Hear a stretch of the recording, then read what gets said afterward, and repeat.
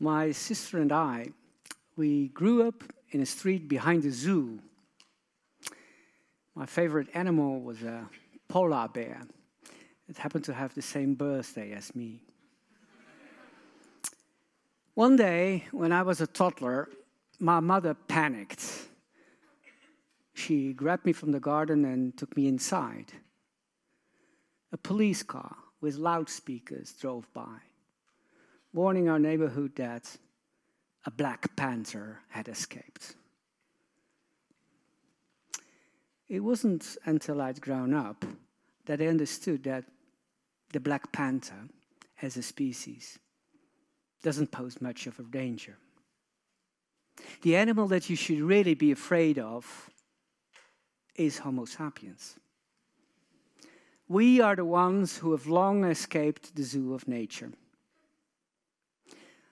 While we are on the loose, roughly seven and a half billion of us, we have wiped out many species. And this is the tooth of one of them. It's a fossilized remnant of a wild horse that lived more than 40,000 years ago. I found it um, on an artificial beach built as an extension to the harbor of Rotterdam. After picking up this token from the past, I tried to think away the North Sea in order to imagine this vast expanse all the way to the cliffs of Dover. During the Ice Ages, my wild horse, Equus ferus, used to roam these dry and windy plains, along with jackals and woolly rhinos and mammoths. Turning around, I found myself face to face with the actual industrial skyline a forest of cranes and chimneys, and the complete pipeworks of two oil refineries. Welcome to the Anthropocene. Fossil in hand, I wondered what on earth has become of us since we hunted down the last Equus ferus. Searching for clues, I went to Paris, to the Grande Galerie de Evolution. Here you'll find the skeletons of every known vertebrate, living or extinct. The primates stand out. They share a glass box, in front of which I met a group of young primates, little ones, together with their primate teacher. And we were all wondering who are we? According to Wikipedia, it's easy. We are two legged members, the zoological family called hominids, just like the chimpanzee, orangutan, or the gorilla, but with a more erect posture. Even a child knows there's more to it than that. But what? What is it that makes Homo sapiens stand out? In what specific ways do we differ from all the other animals to the extent that even a predator, like the black panther, should fear us? Also in Paris, but back in 1900s, the Dutch presented an answer of sorts at the famous World Exhibition, uh, we revealed the first model of the missing link between the animal kingdom and humanity. Nicknamed Pete. This artist impression was made by a Dutch pioneer called Eugène Dubois. Born in 1858, uh, the son of a pharmacist. Now, contrary to Darwin, who believed that humans had lost their fur and their tail in Africa, Eugène Dubois was convinced we originated in Asia. At the age of 28, he traveled to the Dutch East Indies and set up camp at a riverside in central Java and started digging for the missing link. He came back years later with a skull cap, a thigh bone, and a molar of the prehistoric Javanese ape man. Now, the real stuff is locked up in a climatized safe, which is why I brought you this replica. Today, worldwide, this skull is considered to be the type defining specimen of our direct ancestor, Homo erectus. Eugène Dubois himself described his trophies more than a century ago as belonging to the first primate to walk on its hind legs. Seen this way, humans quite literally had emerged out of the animal kingdom by standing up and, more importantly, freeing their hands to use tools like clubs and knives and pens and pencils. I am a writer, not a biologist. In my view, Facts and words relate to each other as bones do to flesh. Like bones, facts never speak for themselves. It's us humans that give them a voice, as if we were fact whisperers. And this is a very typical habit of our species. We try to make sense of the world. No other animal seems so preoccupied with its origins, its destiny, uh, the meaning of life. But we humans, we link and click together facts into the backbones of our stories and theories and convictions. The procedure is pretty much in line with the biblical creation of Eve, since Eve was shaped overnight by putting flesh around a single rib taken from Adam's chest. This is what we do too.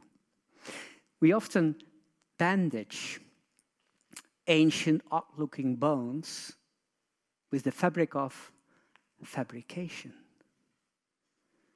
Let's have a look at our image of Lucy, the Ethiopian ape woman, found in 1975 and named after the Beatles song Lucy in the Sky with Diamonds that was playing at her excavation site.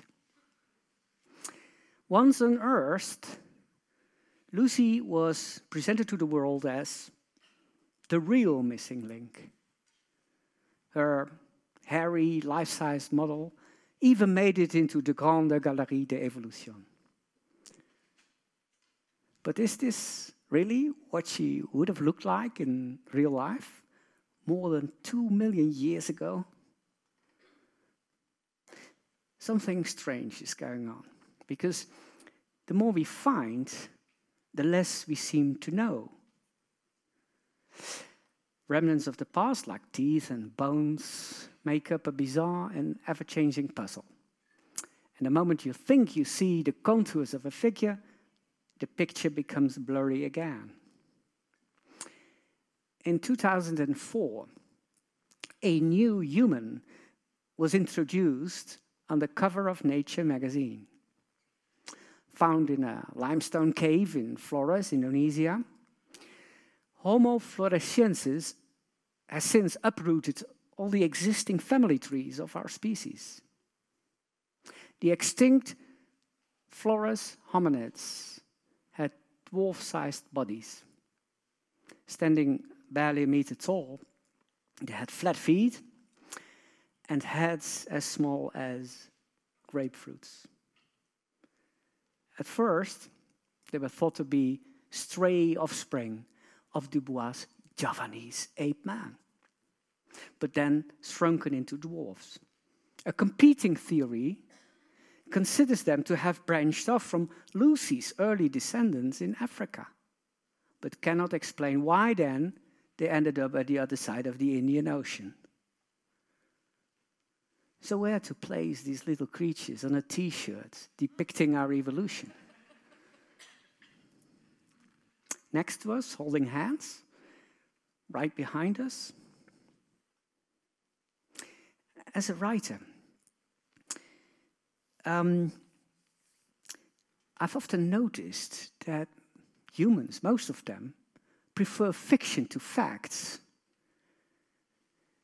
Um, science, of course, is a means to combat that, but it often doesn't stand a chance. Even in the long run, the historical account of the Beagle, the voyage of the Beagle, even in the long run, the historical account of the voyage of the Beagle, the ship that had brought Darwin to his groundbreaking insights, has not been able to replace the legend of Noah's Ark. Just picture the animals that came two by two, and then this torrential opening of the sluices of heaven. It's simply too good a story. In Flores, the lead scientist, Australian Mike Morwood, baptized his little humans hobbits. And who can blame him? By referring to Tolkien's Lord of the Rings, he immediately had all eyes turned on his unique bone collection.